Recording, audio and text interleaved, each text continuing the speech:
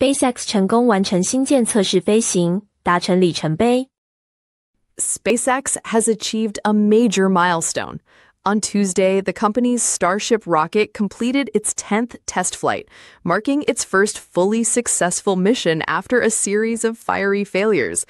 This breakthrough is being described as a turning point for the world's most ambitious space program.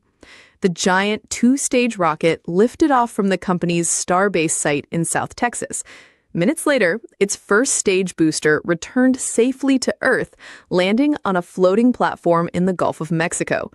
For the first time, the upper stage also made a controlled descent, touching down in the ocean without breaking apart.